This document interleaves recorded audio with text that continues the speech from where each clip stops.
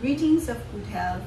My name is Yoriel Dalisay. I own a diagnostic laboratory here in Tagum.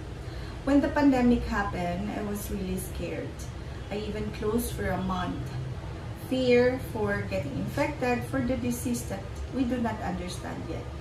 Fear for my staff safety and fear for the patient's safety without proper safety protocol.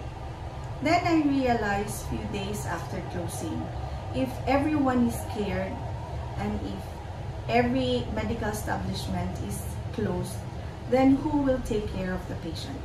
And so I, start, I started studying, reading about COVID, and then make a safety protocol and reopen again.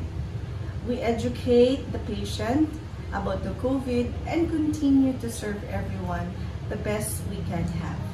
COVID is still here and we are here. Committed to serve and committed to your health.